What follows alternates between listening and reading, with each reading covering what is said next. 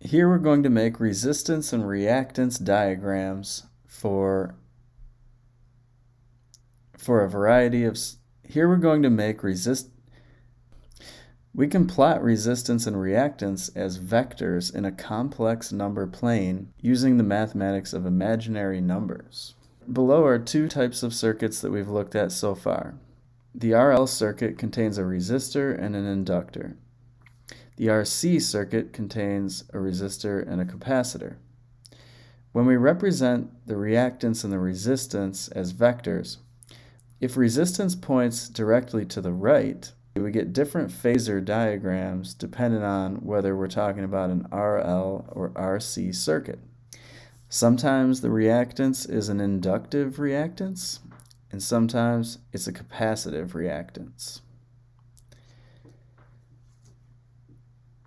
Now, one reason why these diagrams are useful is that they correspond to the voltage phasors across these different components. So we can create a similar diagram to the one on the left where it doesn't represent resistance and reactance and impedance, but instead we'll have the voltage of the resistor, the voltage of the inductor, and the voltage of the source. And we can use the mathematics of phasors to predict what the voltage of any of these components will be at any given time. If we're talking about an RC circuit, then what we'll have is we'll still have the voltage of the resistor pointing to the right when we set up the diagram. We'll have the voltage of the capacitor 90 degrees behind the resistor. And the voltage of the source can be something between.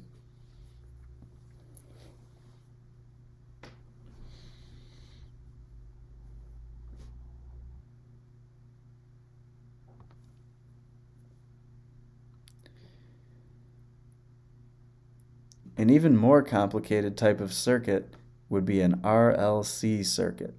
This is a circuit with a resistor, an inductor, and a capacitor. When this happens, both the inductor and the capacitor can contribute reactance to the overall circuit. In order to find out which one is providing more reactance, we can actually sum the capacitive reactance and the inductive reactance together as vectors to find one total reactance. That would be just X. Now impedance, Z, is actually going to be a complex sum of R plus X, where R is the real resistance and X is an imaginary component.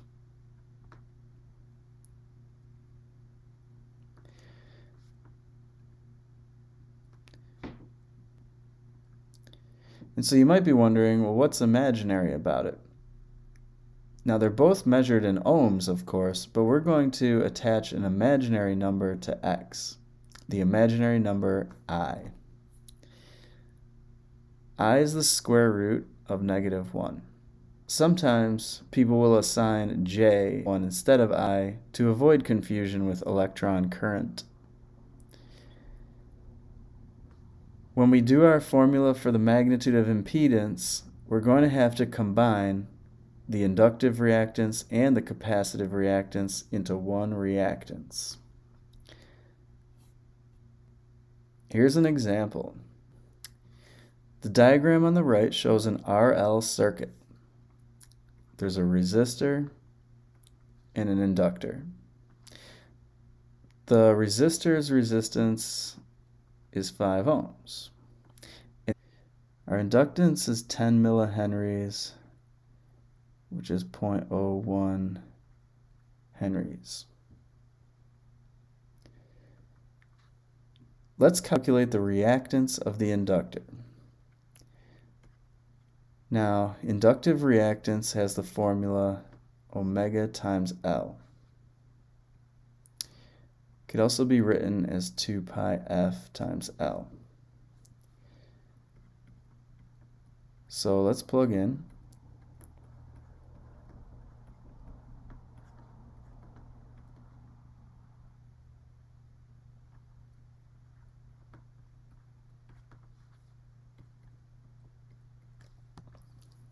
I get 3.77 ohms. But one thing that's new here is we're actually going to express the reactance as an imaginary number. To do that, we can attach an i at the end or a j, which stand for an imaginary number. Now we want to make a phasor diagram showing the resistance and reactance and impedance of the RL circuit as vectors. But these are going to be vectors in what's called a complex number plane. The horizontal direction is the real component, and the vertical is going to be the imaginary.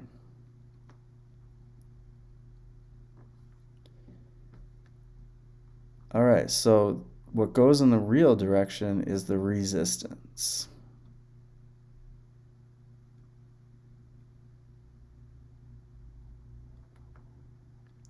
So that's R equals 5 ohms.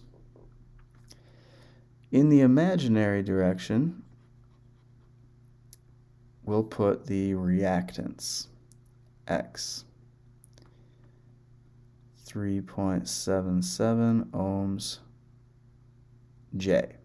Now the reason we know the reactance points up is because it has the J. It's the imaginary component of the impedance. The impedance is the vector sum of both of these. That's Z. It's R plus XL.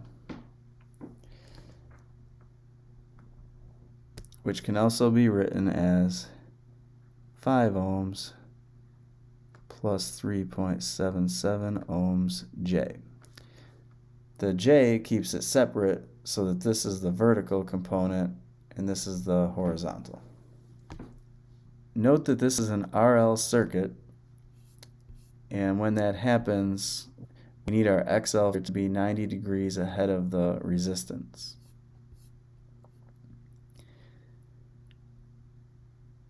Another thing we can do with this is make a phasor diagram for the voltage across each of the components, the inductor, the source, and the resistor. It's just going to have the same basic shape as the diagram on the left.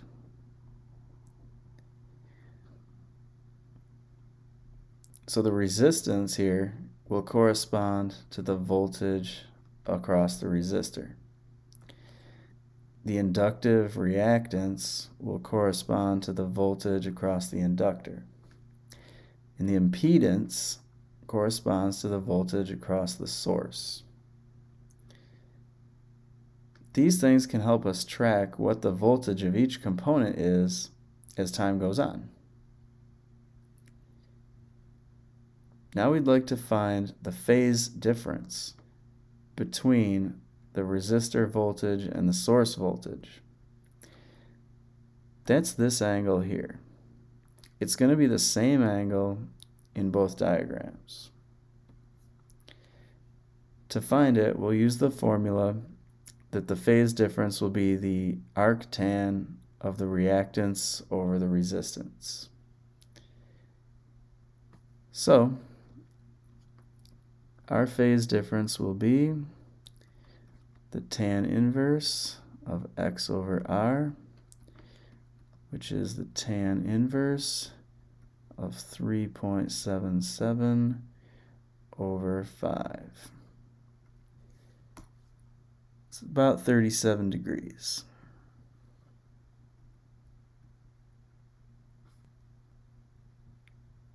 Finally, our goal is to plot the voltage waveforms for each component these mathematics will ensure that Kirchhoff's loop law is always obeyed.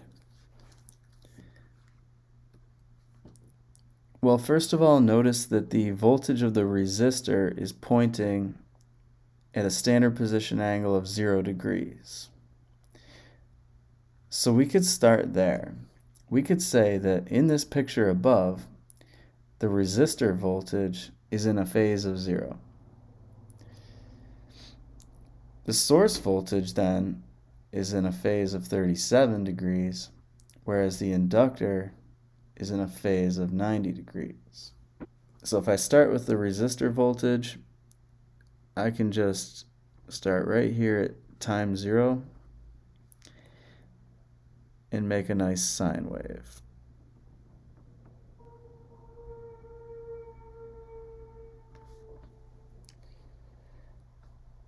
Now I want to label that as the resistor voltage. It could also be helpful to label the axis in terms of angles. So this would be 0 degrees as a phase angle, 90 degrees, 180, and 270. The reason I'm saying this is the inductor voltage is going to be 90 degrees ahead of the resistor voltage.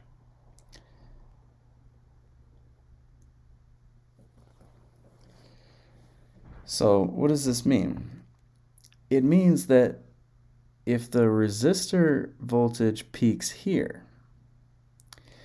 then your inductor voltage needed to peak 90 degrees before that. That's what it means to be ahead. What's going to end up happening here is we want to set up three functions. One of them is for the resistor voltage. It's going to be a function of time. And the form of it is going to be VR peak times the sine of omega t. Even though we can find the omega here, the peak resistor voltage is tougher to find. It turns out that it is not going to be necessarily 10 volts. In an RLC circuit, things are a little bit more complicated. Part of the voltage can be in the resistor at any given time, and part of the voltage could be across the inductor. So we're going to have to do a little work to find out how high that resistor voltage actually goes. If we know that, then we can put a value in here for VR peak. We're also going to want to create a function for the voltage across the inductor. So that's going to be VL peak times the sine of not just omega t, but the inductor leads by 90 degrees. So we have to shift this function. And then we have our voltage across the source. So we'll have Vs peak times sine of omega t plus 37. These are the functions that we'd like to graph, but the tough part is finding each of these peaks. Well, one of them is not so tough, actually. We know what the peak source voltage is. It's going to be 10 volts.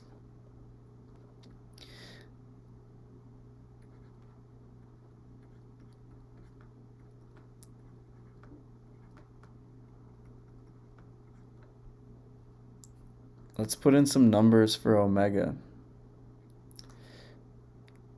Omega will be given by 2 pi f so for this circuit, let's see, it's 2 pi times 60.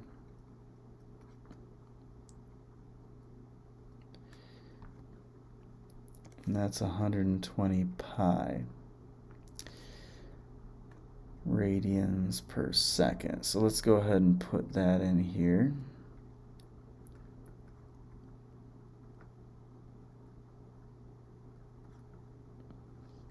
Now, all we have left to find is the peak inductor voltage and the peak resistor voltage. All right, so one option for these. So in the past, we would have used the formula VR peak equals I peak times the resistance.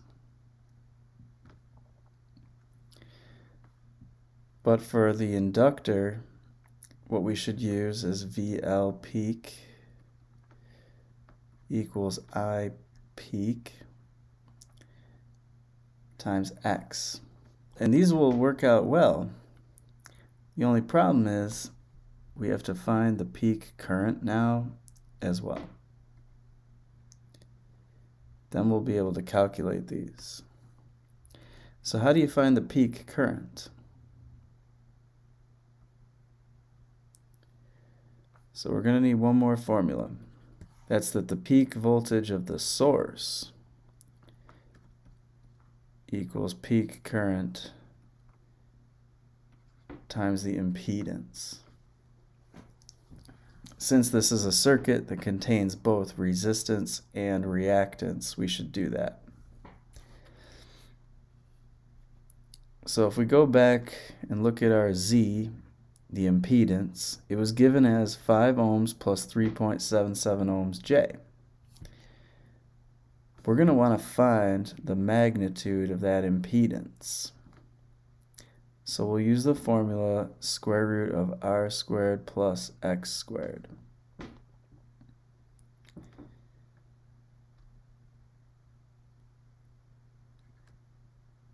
So 5 ohms squared plus 3.77 ohms squared. It's about 6.26 ohms. So let's plug that in for Z. And we should put in 10 volts for the peak source voltage.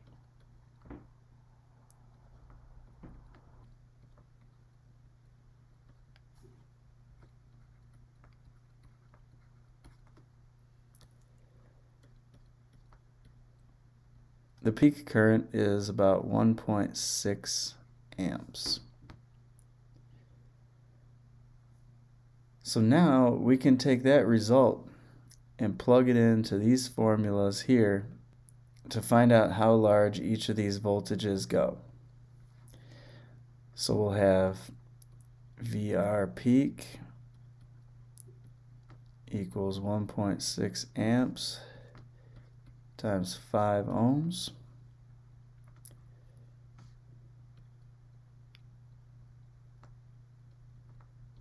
So our resistor will have a peak voltage of approximately 8 volts. When it comes to the inductor, its peak voltage will be 1.6 amps times 3.77 ohms. So it will get 6 volts.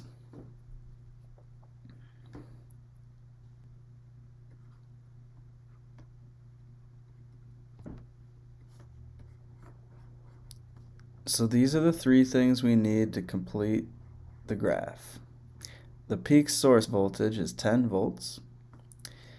The peak resistor voltage is only 8 volts. And the inductor has 6 volts of peak voltage. We can go back to our formulas and plug the others in.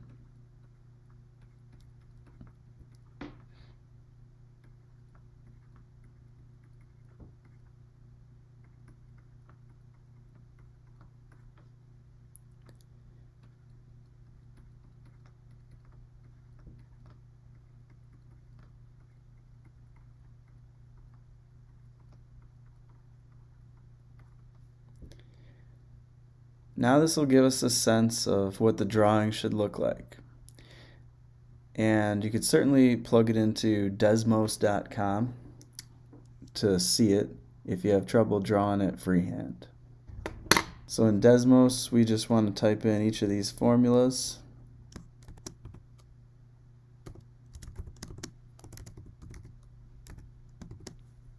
Now we're going to have to scale the axes here, clearly. Alright, so our voltage can go from negative 10 to 10. That's the highest value that we'll get.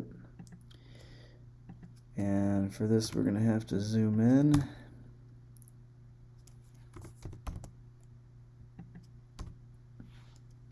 Alright, so there's a good picture of our resistor voltage as a function of time.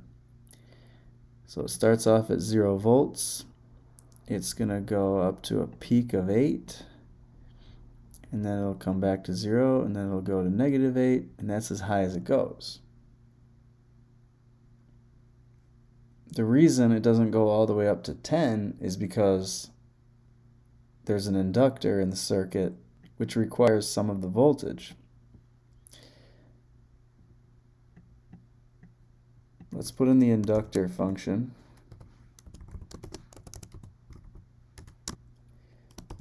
Now, when it comes to this program, you're going to want to convert your angle to radians. It's not going to understand degrees. So we'll do times pi over 180. That would fix it. Or 2 pi over 360 works just as well. And look at that. So it is true that our inductor voltage leads the resistor voltage by a phase difference of 90 degrees. The inductor voltage peaks before the resistor voltage, and that's what we want. Now let's include the source as well.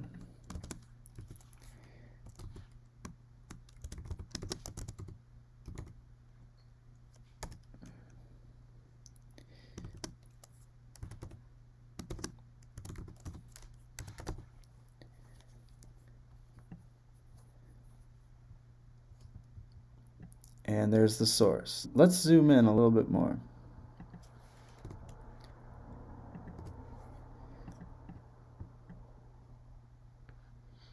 Beautiful. So as we can see, when a circuit is not just purely capacitive or purely resistive or purely inductive, then the different voltages are going to be out of phase with each other. But they do have one thing in common. Here's what it is. Let's make sure that all of these are functions of time. What they have in common is Kirchhoff's loop law is always true. That the voltage across the source has to equal the sum of the resistor voltage plus the inductor voltage. So as you can see, if I add the resistor voltage and inductor voltage together, the purple curve that they make totally overlaps the source voltage. And you can see that if you look closely here, how the source voltage at this particular time is 6 volts. But at that time, the inductor has all the voltage. Then we go to the peak of the source. At the peak of the source, it's 10 volts. And the sum of these two equals that 10. If you look at this point, our source comes back to 8 volts, but none of it comes from the inductor at that time. At that time, the voltage is all across the resistor. And so that's the graph that we want to draw here. Our resistor peak was 8. our inductor peak was 6. But at 0, our inductor is going to have all the voltage. Okay, so now we can draw and it'll come down to 0 at 90 degrees. It'll go to negative 6 here. And we'll come back to 0 and back to positive 6. That is the voltage of the inductor. It leads the resistor by 90 degrees. The source is perhaps the most difficult one to draw. But one option is to use the phase angle here. Notice that the source leads the resistor by 37 degrees. So its peak will happen here, 37 degrees behind the resistor's peak. Not only that, but we can see that the inductor has all the voltage at this time. So that's going to be a point for our source as well. Same thing for this point and this point. This point and that point. And we're starting to create a kind of sine wave graph that we could plot. Notice that the resistor's voltage is zero here, so the source would also be 0, 37 degrees prior to that. Same thing would happen here. Alright, so we're getting a pretty good idea of what this guy will look like.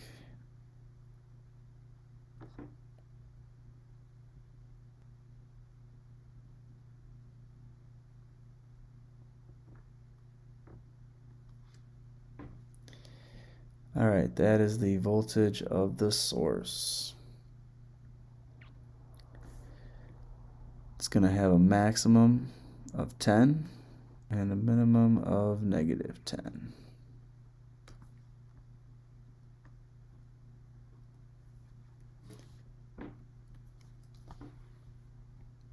And it's done.